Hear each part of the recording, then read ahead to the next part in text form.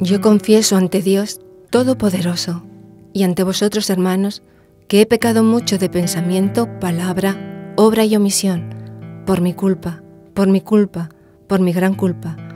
Por eso ruego a Santa María siempre Virgen, a los ángeles, a los santos y a vosotros, hermanos, que intercedáis por mí ante Dios, nuestro Señor. Amén.